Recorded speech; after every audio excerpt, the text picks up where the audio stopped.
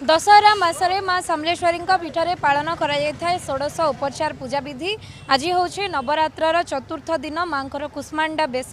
ହେଲେ ସମଲେଶ୍ୱରୀ ମନ୍ଦିରରେ ଯେମିତି କାଲି ମଧ୍ୟ ଆମେ କହୁଥିଲୁ ଯେ ମାଙ୍କ ମନ୍ଦିରରେ ହୋଇଥାଏ ସବୁଦିନ ସିଙ୍ଗାର ବେଶ। ମା ଷୋଡ଼ଶ ମହାବିଦ୍ୟା ରୂପରେ ପୂଜା ପାଇଥାନ୍ତି। ଦୁର୍ଗା ନାରାୟଣୀ ଏହିପରି ମାଙ୍କର ଅନେକ ରୂପ ରହିଛି।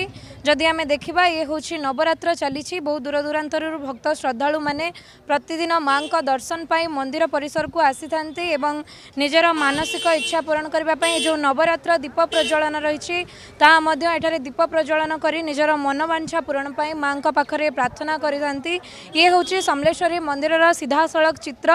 ଦେଖିପାରୁଥିବେ କିଭଳି ଭାବରେ ଭକ୍ତ ଶ୍ରଦ୍ଧାଳୁମାନେ ଆସି ମାଙ୍କର ପୂଜା ଅର୍ଚ୍ଚନା କରୁଛନ୍ତି। ତା ସହିତ जो रही जो पार्वणर ऋतु जो पुओ जुंतिया ठार आरंभ होता है माँ ठारे जो उपचार पूजा षोड़श उपचार पूजार बहु भक्त श्रद्धा आसुंच माँ को दर्शन कर भक्त मैंने भिन्न भिन्न स्थानर आशीर्वाद देखा मिलूँ जदि आम कह षोड़श उपचार पूजा आज माँ कुष्मांडा बेस कौन आज पूजा रीतिकांति रही आज माँ आम जो तीन टा जो सिंगार बेस आम तो ये भिन्न मानने पूजा चली ଏଠି ଭିନ୍ନ ମାନେ ପୂଜା ଚାଲିଛି ଆଉ ଆଜି ମାଙ୍କ ନାରାୟଣୀ ଆଉ ବୈଷ୍ଣବୀ ବେଶରେ ଆଜି ମାଙ୍କୁ ସଜା ସଜା ହେବ।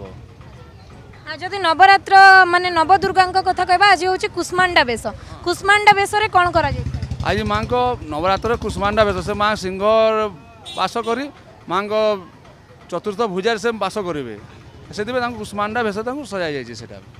ଆଜି ଯେଉଁ ଆମ ସମଲେଶ୍ୱରୀ ମନ୍ଦିରରେ ମାଙ୍କର ବେଶ ରହିଛି ଏହା ପାଇଁ କ'ଣ ସ୍ୱତନ୍ତ୍ର ପୂଜାପାଠ ରୀତିନୀତି ରହିଛି? ଆଜି ଏବେ ମାଙ୍କ একটা মানে বারোটা কুড়িরে মাংক মানে সিঙ্গার বেশ স্টার্ট হব। তারপরে দেড়টা মানে একটা তিরিশ মিনিটে মাংক সিঙ্গার বেশ সম্পন্ন হব। তারপরে এই দেড়টার মাংক হাট খুলব পছপটু। পছপটু সব যেতে ভক্ত অনেক সেপটু দর্শন করবে কম্পলসরি মাস্ক স্যানিটাইজ কম্পলসরি রহব মন্দির ভিতরক থরে পাঁচ লক্ষ প্রবেশ করবে ନିଶ୍ଚିତ ଭାବରେ ଯେଉଁଭଳି ଭାବରେ ପୂଜକ ଆଜ୍ଞା କହୁଥିଲେ ଯେ ଆଜି ମାଙ୍କର କୁଷ୍ମାଣ୍ଡା ବେଶ ରହିଛି ବହୁତ ଭକ୍ତ ଶ୍ରଦ୍ଧାଳୁମାନେ ମଧ୍ୟ ଆସୁଛନ୍ତି ମାଙ୍କ ଦର୍ଶନ ପାଇଁ। ଇଏ ଥିଲା ଆଜିର ସମଲେଶ୍ୱରୀ ମନ୍ଦିର ସିଧାସଳଖ ଚିତ୍ର ବହୁ ଭକ୍ତ ଶ୍ରଦ୍ଧାଳୁ ମଧ୍ୟ ଯୋଡ଼ି ହୋଇଛନ୍ତି। ମାଉସୀ ଆପଣ କେଉଁଠୁ ଆସିଥିଲେ? ମୁଁ ତୁଆଁପାଲିରୁ। ମାଙ୍କ ଦର୍ଶନ ହେଲାଣି? ନାଇଁ। ବହୁତ ଦୂର ଦୂରାନ୍ତରୁ ଆପଣ ଆସିଛନ୍ତି ମାଙ୍କ ଦର୍ଶନ ପାଇଁ। ଆପଣଙ୍କ ମନରେ କ'ଣ ଇଚ୍ଛା ରହିଛି? ମାଙ୍କୁ ଦର୍ଶନ କଲେ କ'ଣ ମାଗିବେ? କ'ଣ ମା ମାଙ୍କର ତ ସବୁ କିଛି ତା ଆପଣ ତ ସବୁ ଜାଣୁଛ ସବୁ କିଛି ଦେବେ ଭଲ। ଆଜ୍ଞା।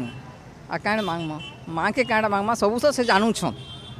ମାଙ୍କର ଆଶୀର୍ବାଦ ସବୁବେଳେ ସଦା ଥାଉ ସାଥେ ସାଥେ। ଆ, ନିହାତି ଭାବରେ ଇଏ ହେଉଛି ମା ମାଙ୍କ ପ୍ରତି ଥିବା ଭକ୍ତଙ୍କ ମନରେ ଥିବା ଯେଉଁ ଭାବନା ଇଏ ଚାଲିଛି ଦଶହରା ମାସ ମାଙ୍କର ଯେଉଁ ଷୋଡ଼ଶ ଉପଚାର ପୂଜା ପାଇଁ ଏ, ଚାଲିଛି ସେଥିପାଇଁ ବହୁତ ଉତ୍ସାହ ଆଗ୍ରହର ସହିତ ଭକ୍ତମାନେ ଆସୁଛନ୍ତି ଏବଂ ମାଙ୍କ ଦର୍ଶନ କରି ଯାଉଛନ୍ତି। ସମ୍ବଲପୁରରୁ କ୍ୟାମେରା ପର୍ସନ ଅଜିତଙ୍କ ସହିତ ଶୁଭଶ୍ରୀ ବାରିକ ଅର୍ଗସ୍ ନ୍ୟୁଜ୍।